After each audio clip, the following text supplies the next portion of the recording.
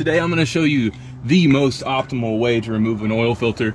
So I can give this one the old two hand maneuver. I love when the lady does it, but I don't like when I have to do it. And she's not budging at all. So I, I pull out my trusty screwdriver. I do this so much that I have a screwdriver dedicated to it. And the old persuader. And we put the screwdriver on and the hammer on and we hammer her in. Make sure our oil pan is underneath.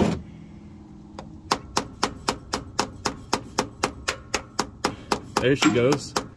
All right, she's in. Give her a twist. Bada bing, bada boom. Your oil filter's loose. That's the best way to change your oil filter right there.